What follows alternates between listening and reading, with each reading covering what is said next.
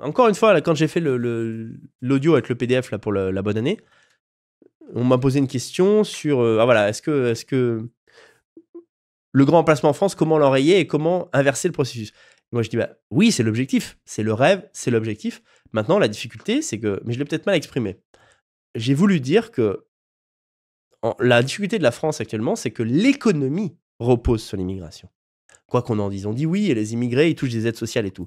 Il y a la moitié, disons, disons la moitié, la moitié des immigrés qui se touchent la nouille, argent braquette, qui font 4-5 enfants qui, et qui vivent euh, sur le dos des travailleurs et des actifs.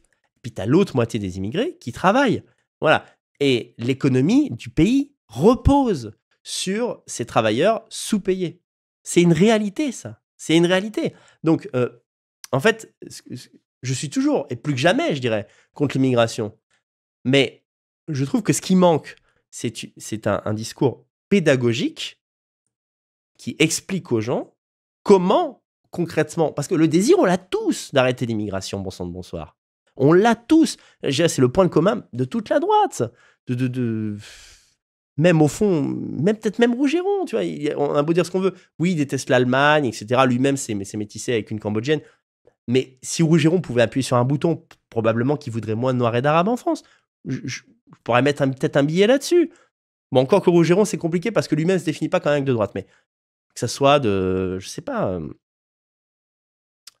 je sais pas, de Dupont-Aignan à moi, en passant par Boris Lelay et, et, Nicolas Faure, on veut tous, même si on a plein de, divergences d'opinion, on veut tous que l'immigration s'arrête. Mais une fois que tu as dit ça, tu rien dit, parce que maintenant tous les Français veulent que l'immigration s'arrête. Mais il faut expliquer, présenter aux gens le projet. Voilà, et le projet, c'est que si on veut maintenir l'économie en, bonne forme. Et on le veut tous. On veut pas rétrograder. Ça, c'est une. Je dirais que ça. Si je devais débattre avec Rochdy, je dirais, mais ça, c'est. C'est une certitude. Voilà. C'est une certitude humaine. Il n'y a pas besoin de, convoquer un sociologue et tout. Il n'y a, pas, a pas besoin d'en discuter, euh, Julien. Les gens ne veulent pas moins d'argent qu'avant. Ils ne veulent, pas, veulent pas moins consommer qu'avant. Ça ne passera jamais. D'accord? Euh, Les moments où on a moins d'argent, où on peut moins consommer, c'est les moments de forte inflation. Tout le monde déteste ça. Euh, même si par ailleurs les politiques euh, qui sont en place ne sont pas responsables de cette inflation, ils sont considérés comme les responsables. D'ailleurs, le, parti polonais a aussi joué de malchance parce que la Pologne a une grosse inflation et les partis qui étaient opposants au PIS ont dit mais c'est parce que c'est le PIS, regardez, on n'a plus de thunes, maintenant tout est cher. Et les gens sont complètement débiles, ils ont dit ah, on n'a plus d'argent, c'est à cause du PIS. Donc les gens veulent de la croissance économique. Ou, pire, de la stagnation, mais certainement pas une régression. Et je rappelle qu'une stagnation euh, longue durée, c'est une régression par rapport aux autres pays qui, eux, continuent la croissance. Donc, on veut moins d'immigrés et de la croissance. Ça, c'est la donnée, je dirais, c'est la certitude absolue sur le désir conscient ou inconscient des gens. De la croissance et moins d'immigration. OK. Donc, pour faire fonctionner ça, il n'y a pas 50 solutions. C'est plus de travail, c'est-à-dire les aides sociales de 10 ans pour un mec qui bosse pas et qui est, valide, qui n'est pas handicapé, c'est fini. Voilà. Donc, on pousse les gens à travailler. En fait, on oriente la société. C'est un changement de paradigme. Euh, euh, plutôt que de dire aux gens, bah, vous allez avoir du temps pour vous épanouir, on va leur dire, en fait, on va arrêter l'immigration ça suggère quoi? Bah, Ça veut dire que vous allez travailler plutôt jusqu'à 65 ans et les 35 heures, c'est terminé, on passe plutôt aux 40 heures. Voilà. Premier point. Plus de travail, plus de gosses. Voilà. Donc, croissance sans immigration, c'est plus de travail et plus de gosses. Et, ce discours, par exemple, je le tenais pas il y a 4-5 ans parce que je l'avais pas moi-même compris en réalité. C'est-à-dire j'étais tellement obsédé par l'arrêt de l'immigration que je ne me posais pas la question du comment. Euh, ce, que je répétais aux gens, c'est il faut arrêter, il faut arrêter l'immigration. Et c'est vrai, il faut arrêter l'immigration massive, il faut arrêter de faire revenir 300 000 Africains par an. Et ça, on peut l'arrêter dès maintenant. On peut l'arrêter dès maintenant, euh, par exemple, en changeant l'origine des immigrés, en, en, contrôlant évidemment leur, leur, leur, provenance, leur background, qui était-il avant, en choisissant plutôt des gens à, forte valeur ajoutée, etc. On peut déjà faire ça. Mais globalement, si on veut réduire le nombre d'entrées, le nombre d'installations, donc on veut réduire l'immigration sans en pâtir du point de vue économique, il faut que les Blancs travaillent plus longtemps et fassent plus d'enfants. Il n'y a aucune autre solution. L'autre solution arrivera peut-être dans 40 ou 50 ans avec des robots qui feront le travail, peut-être 20 ou j'en sais rien. On ne sait pas pour l'instant, on ne sait pas. L'autre solution euh, arrivera euh, dans plusieurs décennies. Et plusieurs décennies, imaginez encore 30 ans d'immigration à ce rythme en France. C'est une catastrophe. Voilà, donc il n'y a pas d'autre moyen. Il faut travailler à ce que, c'est peut-être notre rôle, hein, c'est peut-être mon rôle et celui d'autres euh, idéologues. mais moi, je souhaiterais quand même que des, idéologues qui ont, plus de poids et qui apparaissent à la télévision régulièrement tiennent, je dirais, et ce mauvais rôle que d'avoir raison avant les autres. parce que c'est euh, pour mettre, euh, voilà, créer la première étape mentale. Expliquer aux gens, oui, on va arrêter l'immigration, on veut tous l'arrêter.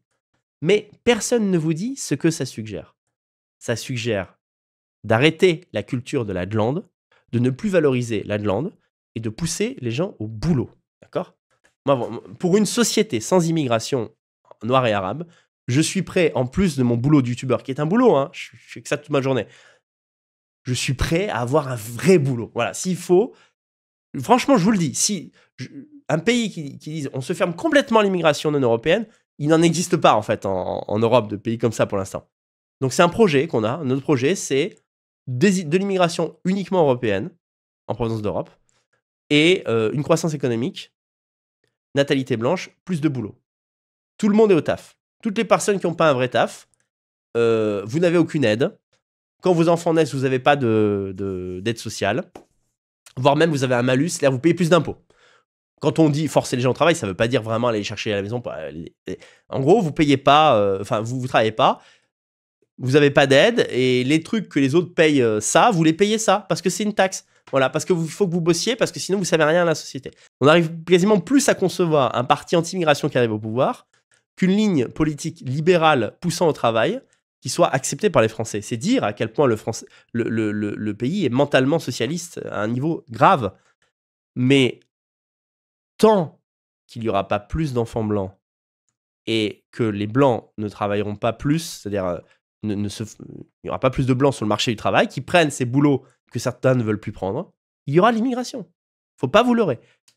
Même si la droite la plus extrême passe au pouvoir, on le voit d'ailleurs en Italie, c'est pas Van der, Van der Leyen, machin bidule l'UE empêche l'Italie de faire le blocus naval pour des raisons pseudo-humanistes euh, qui feraient que Mélanie serait peut-être dégagée, qu'elle aurait un procès euh, au nom des droits de l'homme et de mes couilles. Ça, c'est vrai.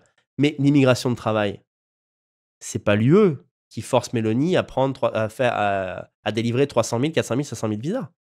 C'est que Mélanie, elle a compris que dans une Italie qui fait 1,2 enfants par femme, ou 20,4, et où les, où les jeunes italiens sont ramiers, et qu'ils n'en foutent pas une, on ne peut pas arrêter l'immigration. C'est la réalité, on ne peut pas l'arrêter. C'est, c'est, on peut la réduire, on peut, on peut, on peut changer. Alors, a priori, euh, parmi les, les, les, pays, euh, voilà, les, bénéficiaires de visa, ce sera plus des Asiatiques maintenant que des Africains, tant mieux. Mais on ne peut pas la faire passer à zéro. Voilà, il faut que les FAF arrêtent avec ça. Euh, arrête de la jouer genre oh Daniel ou d'autres. Euh, mais en fait, euh, attends, tu t'es ramolli et tout, c'est zéro immigré, c'est pas c'est pas qu'un, c'est pas 100. Waouh Mais oui, génial, t'as as fait ton P dans l'univers, t'as écrit ça sur YouTube sous pseudonyme, donc t'es plus radical que moi, bravo, t'as qu'à ouvrir un compte Tipeee, je t'enverrai de l'argent aussi. Il faut répéter jusqu'à la nausée, jusqu'à ce que les gens, en fait, le répètent eux-mêmes devant le miroir. Croissance sans immigration, c'est travail et natalité blanche. Croissance sans immigration, c'est travail et natalité blanche. Croissance sans immigration, c'est travail et natalité blanche. C'est tout. C'est tout. Sinon, la société, elle tient pas. Voilà. Et après, et, quand je dis ça, les mecs disent oui, le Japon. Hey, ça tombe très bien. Le Japon, ils n'ont pas de natalité. C'est vrai que c'est chiant. Vous n'avez pas remarqué? Bah, légère stagnation économique quand même. Bah oui, ils font pas de gosses. Mais ils tiennent quand même. Ils, restent, je crois, la troisième puissance économique mondiale. Comment? Ils travaillent jusqu'à 70 piges? Putain, ils travaillent jusqu'à crever, quoi. Voilà comment ils font. Voilà comment ils font pour que sur leur île, sur la petite île où ils sont déjà 120 millions, eh bien, le nombre d'immigrés soit extrêmement réduit. Ils font pas beaucoup de gosses, certes, mais ils sont déjà beaucoup sur une île qui est petite. Probablement aussi, alors ça c'est un truc, c'est un terrain sur lequel on va jamais, mais peut-être qu'il y a des secteurs où ils consomment moins. Donc s'il y a moins de consommation, il y a moins besoin de création de produits, donc il y a moins besoin d'employés, il y a aussi ça, il y a aussi ce phénomène. Mais, mais, mais, mais, mais, mais, mais, mais, mais, mais, sur quoi tient le Japon identitaire? Les Japonais, leur vie, c'est bosser, putain. Voilà. Et quand les FAF, ils te disent Ah ouais, on peut pas arrêter l'immigration, et le Japon alors Ben, les Japonais, ils bossent. Ah, putain, les FAF, ils sont là. Ouais, mais c'est pas pareil, attends. C'est pas pareil, parce que nanani, parce que nanana. Et après, ils vont toujours sortir l'argument de l'impôt. Ouais, après, c'est l'œuf ou la poule, quoi. Voilà. En fait, il y a trop d'impôts en France, donc on bosse pas. Ok. Ok. Donc, par exemple, c'est vrai que c'est pas motivant d'ouvrir une entreprise quand t'as pas énormément de fonds en France parce que tu sais pas si. Euh, voilà, Compliqué. Ok, bah du coup, tu fais quoi? Tu... Un autre boulot alors? Ah non, bah tu prends pas ce boulot, tu prends pas ce boulot, tu prends pas ce boulot. Donc tu es quand même conscient qu'on peut pas vivre dans un pays où il n'y a pas de facteurs, dans un pays où il n'y a pas de, de médecin ou de brancardier, et dans un pays où il n'y a pas euh, d'ingénieurs, enfin d'ouvriers dans les usines. Donc tu veux pas faire ouvrier dans les usines, tu veux pas faire brancardier à l'hôpital, tu veux pas faire plongeur parce que la plonge ça rapporte rien. Tu veux pas créer une entreprise parce que les impôts te prennent tout. Tu veux pas être un simple employé parce que bosser dans le tertiaire en toit de gauchiste ça fait chier. Bah excuse-moi, mais à un moment donné ton boulot il va aller à quelqu'un d'autre. Donc tant, que faire se peut, un patron va peut-être essayer de chercher un autre blanc ou un français. Sinon bah, il va prendre quoi? Un noir ou un arabe. Et une fois que euh, c'est ça dans tous les secteurs d'emploi, qu'est-ce qui se passe? Bah les employeurs eux-mêmes se disent mais je suis désolé mais ils nous font chier aussi mais comment je peux les dégager? C'est la moitié de mon entreprise.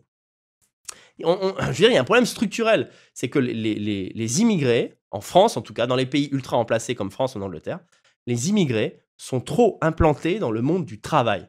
La seule manière de le faire, c'est un, truc, euh, c'est un changement global de modèle où on diminue drastiquement l'immigration et en même temps et immédiatement, on prend les mesures euh, nécessaires pour que les gens qui sont sans emploi prennent ces emplois immédiatement.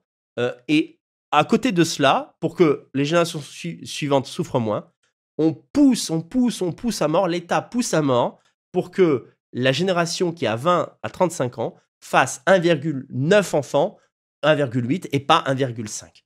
Voilà, c'est, donc c'est un énorme chantier. C'est un énorme chantier, c'est pas impossible. Si je pensais que c'était impossible, bah, je, ne militerais pas en fait, hein, mais, mais c'est beaucoup plus difficile que ceux qu'on affirme. Voilà, il y, a un côté. Euh, Nicolas Ford dit souvent euh, que le milieu manque de rigueur. Voilà. Euh, je préfère le mot rigueur au mot sérieux parce que je suis quelqu'un aussi qui se prend pas dans au sérieux parce que j'aime rire, j'aime l'humour. Mais il a pas tort, c'est-à-dire il y, a un manque de rigueur quand les gens te disent en gros bah il suffit d'arrêter l'immigration, voilà, t'appuies sur un bouton et puis bon, c'est fini, voilà, et puis tout va bien, tout va très bien madame la marquise quoi. Bah non parce que les Français d'aujourd'hui 20 ans, de 20 piges aujourd'hui, c'est pas ceux d'il y a 50 ans. Voilà, euh, la culture du travail a disparu, elle a, disparu dans les études, elle a disparu euh, dans le travail lui-même, elle a disparu à plein d'endroits. On, est tous addicts à nos merdes de téléphone. On n'est plus les mêmes gens qu'il y a 50 ans. Donc il y, a, vraiment un ensemble de mesures à prendre qui est extrêmement complexe. Euh, et, pour en arriver à, ces solutions nécessaires, bah, il faut tenir le bon discours pour que les gens aient ça en tête. Voilà.